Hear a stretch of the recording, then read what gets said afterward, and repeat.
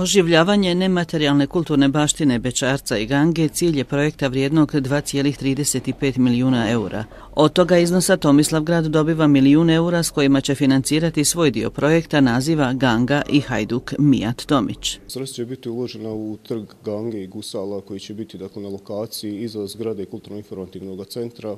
Samim time dakle, bit će obnovljena i fasada zgrade kulturno-informativnog centra kao i svi sadržaje koji su vezani za to. A to su šetnice i uređenja budućih muzeja Gange i Bečarca kao jedinstvenih centara za posjetitelje.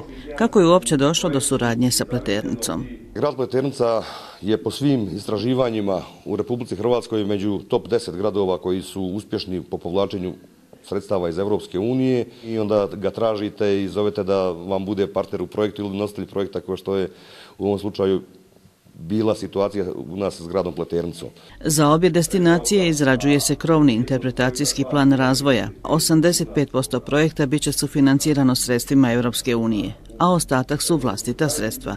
Početak radova planiran je za 1. travnja, a rok završetka svih planiranih aktivnosti je 28 mjeseci.